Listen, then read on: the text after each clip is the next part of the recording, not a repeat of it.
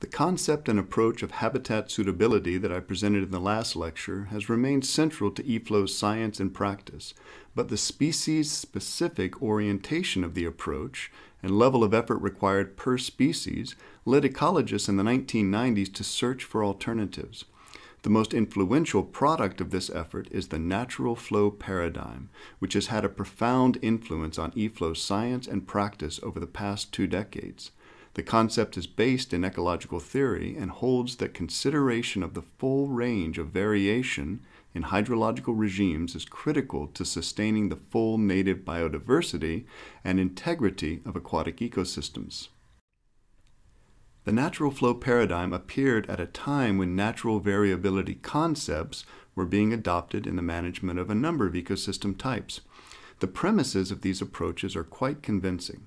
If native species are adapted to the past environmental conditions and processes in ecosystems, then the maintenance of these conditions should sustain the viability of the full suite of species in the ecosystem.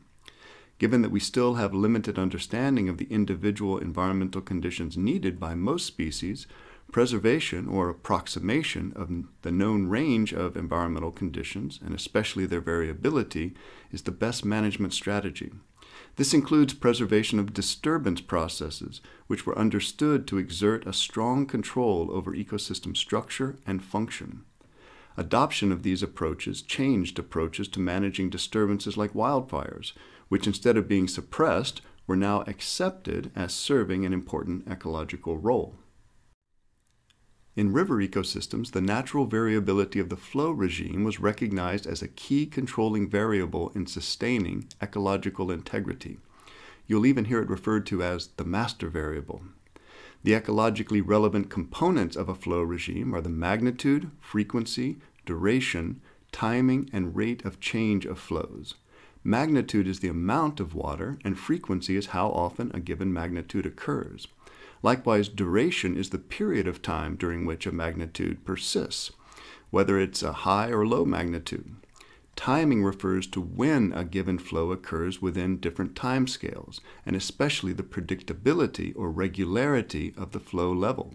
An example of a predictable flow is a large flood that occurs each year at more or less the same time. Finally, rate of change refers to how quickly flow levels change from one magnitude to another. Together, these components of the flow regime influence the main components of ecological integrity, namely water quality, sources of energy, physical habitat, and biotic interactions.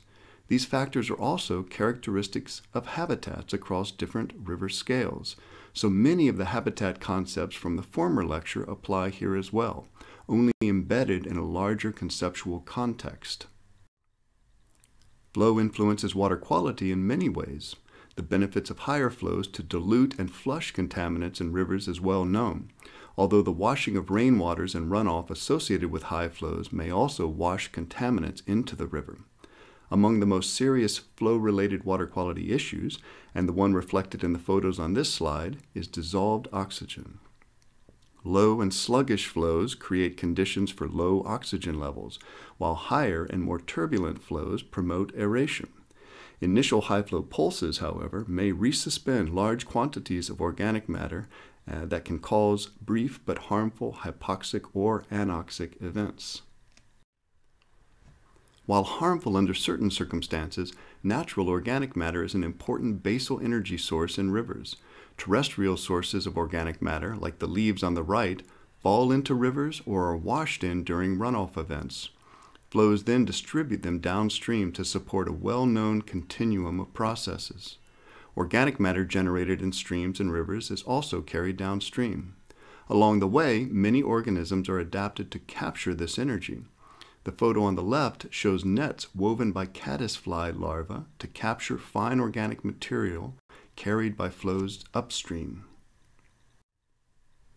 As we learned in the previous lecture, geomorphic features in the river are the physical templates for the habitats of many species.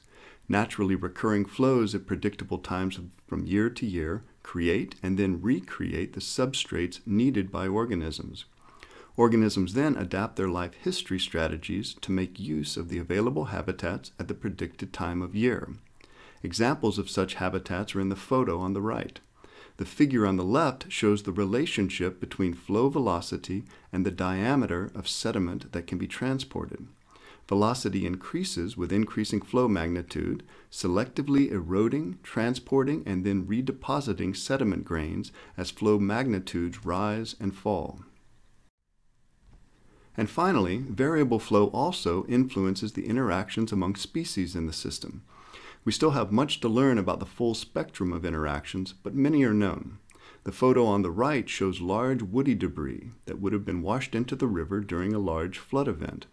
This debris then becomes an important part of the structure of the river, influencing river hydraulics and geomorphology and providing needed shelter and habitat to riverine species.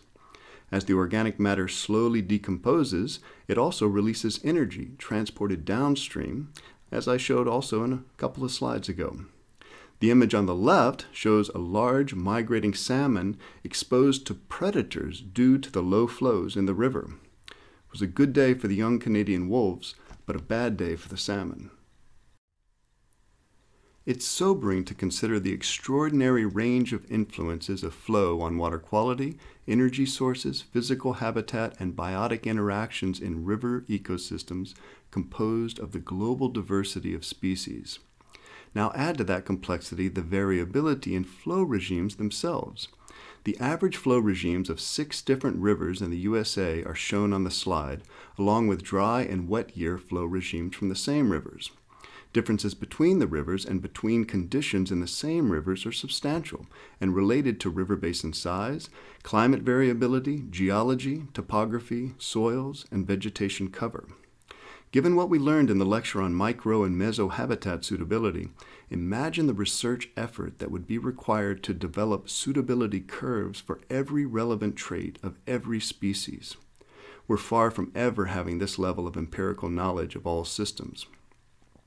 But that's the beauty and allure of the natural flow paradigm. Given its role as a master variable, built into the characteristics of the natural flow regime of any river is all we need to know about the spectrum of conditions to support the adapted needs of every native species. By focusing on the controlling variable, which in many parts of the world we would have been monitoring for decades, we're able to preserve the still not fully understood dynamics of diverse aquatic ecosystems worldwide. But as with every paradigm, there are weaknesses and research gaps. We'll consider some of these in the next lecture and over the remainder of the course. But when modified to adjust to changing circumstances, the essential elements of the natural flow paradigm will remain central to best practice in eFlow science and practice. So, take home messages from this lecture. First, natural variability is important to the integrity of ecosystems. And second, in rivers, variability can be expressed by variations in the magnitude, frequency, duration, timing, and rate of change of flows. And finally, analysis of the historical record of flow variability at daily, monthly, annual, and interannual scales is a useful guide to eFlows recommendations. That's the end of this lecture. Thank you.